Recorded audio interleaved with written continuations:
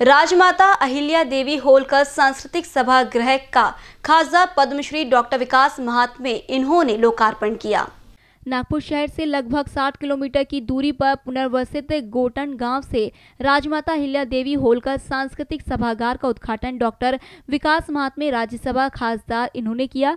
इस अवसर पर पूर्व विधायक सुधीर पारवे, अश्विनी शिवणकर, सभापति पंचायत समिति कुही, नवनियुक्त पंचायत समिति सदस्य देवाजी गवली, वंचित अघाड़ी के गोटन गाँव के सरपंच रेखाताई सोनवाणे उप सरपंच धर्माजी देवहारे सुनील भाऊ जुवार, तालुका भाजपा अध्यक्ष स्वप्निल राउत, भाजपा महामंत्री मधुकर कोपसे, नीलू खोपसे धनगर समाज संघर्ष समिति मॉडल के गोंडाने इनकी प्रमुख उपस्थिति से सभागृह का लोकार्पण सोहला संपन्न हो गया।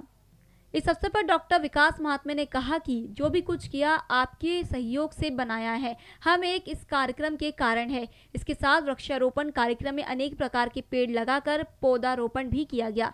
इस कार्यक्रम में गाँव के ज्येष्ठ नागरिक भगवान रड़के पाटिल, नरेश चौधरी, प्रमोद नागदेवे, राजेश देवहारे विलास जी हुड़मे, कैलाश लूचे, गुंडेराव रुड़के, सुधीर भाऊ लुच्चे, रमाकांत शेंडे, तुलसाराम लूचे विकेंड लूचे अंकुश लूचे, बाबूराव लूचे, उद्धव घुटके चक्रधर गाय गायमुखे, आनंदराव बनकर और गाँव की जनता उपस्थित थी। इस कार्यक्रम की पूरी ज़िम्मेदारी नीलू लूचे, इन्होंने अपने ऊपर लेके कार्यक्रम को सफल किया। बीसीएन न्यूज़ से राजेश यल सेट्टीवार की रिपोर्ट, पवनी।